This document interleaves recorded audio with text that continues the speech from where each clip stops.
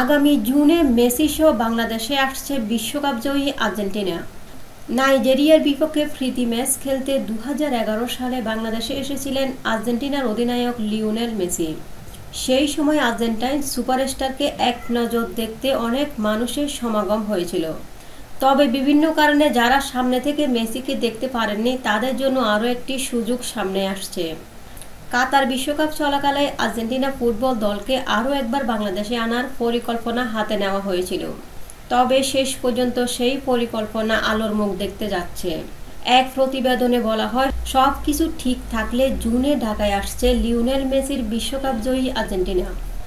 আর্জেন্টিনার ঢাকায় আসার বিষয়টা প্রায় চূড়ান্ত জানিয়ে মঙ্গলবার সতেরো জানুয়ারি বাফুফের সভাপতি কাজী ছালাউদ্দিন বলেন আর্জেন্টিনার প্রস্তাবিত এই সফর প্রায় চূড়ান্ত হয়ে এসেছে।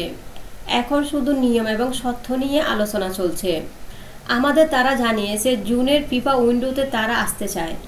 নিয়ম এবং সত্য নিয়ে সমস্যা না হলে জুনে তারা আসবেই বলা যায়। দু হাজার এগারো সালে আর্জেন্টিনা যখন বাংলাদেশে এসেছিল, তখন বঙ্গবন্ধু স্টেডিয়ামে তারা এক আন্তর্জাতিক প্রীতি ম্যাচে মাঠে নেমেছিল।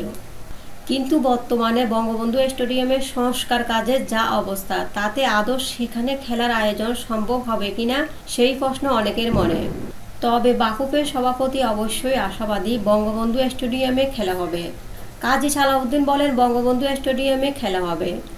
জরুরি ভিত্তিতে সব কাজ করে দিতে আমরা মঙ্গলবার জাতীয় ক্রীড়া পরিষদকে চিঠি দিয়েছি। তারা রাজি হয়েছে।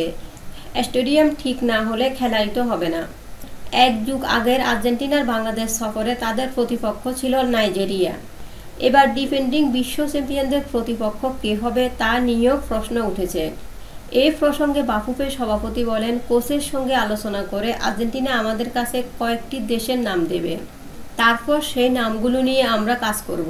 শেষে একটি দেশ ঠিক করা হবে।